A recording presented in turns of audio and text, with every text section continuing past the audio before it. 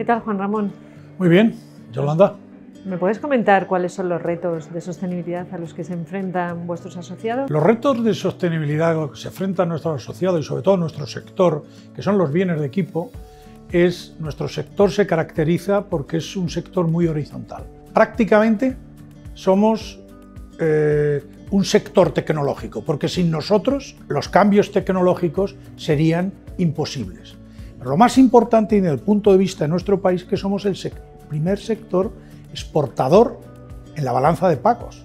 Hemos sido durante varios años. Luego, por tanto, cuando nosotros exportamos, lo que no exportamos no solamente un equipo, exportamos confianza, exportamos una manera de hacer las cosas y todo eso de acuerdo a los criterios de sostenibilidad, pues fortalece lo que es la presencia, la gobernanza de los procesos productivos. Juan Ramón, ¿cómo crees que aporta la marca NS a resolver los retos de sostenibilidad que tenéis en vuestro sector? La marca NS, los conceptos, los pilares en los que se apoya la marca NS son pilares fundamentales y profundamente dinámicos y transformadores para los procesos industriales que afrontamos.